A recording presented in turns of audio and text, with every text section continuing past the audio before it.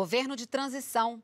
Os grupos de planejamento, orçamento e gestão e o de educação se reuniram para debater a recomposição do orçamento do ano que vem para a manutenção dos serviços públicos em áreas prioritárias.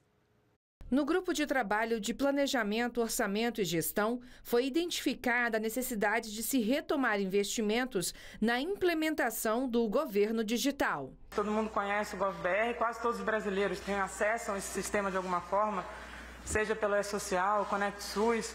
Né? A gente tem uma série de serviços que são prestados à população nesse, nessa área e o orçamento não acompanhou a demanda crescente por esse serviço. O pagamento de passivos com organismos internacionais é outra preocupação do grupo. A dívida atual do Brasil para com órgãos internacionais, que envolvem ONU, OMC, OIT e uma série, uma infinidade de outros órgãos né, da área de meio ambiente e outras áreas, é, a, a monta 5 bilhões de reais.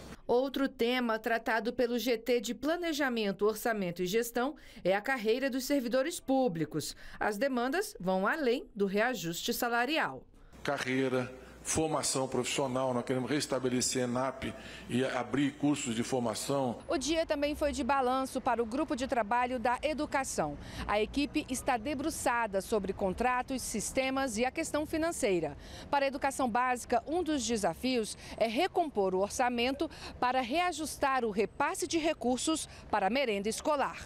Para muitas crianças, é a refeição mais nutritiva e nós estamos, inclusive, mostrando para a equipe de transição, para a coordenação, a importância que isso tem como uma atividade emergencial dentro do programa de reestruturação que o nosso presidente tem dito do direito de comer, da segurança alimentar do povo brasileiro.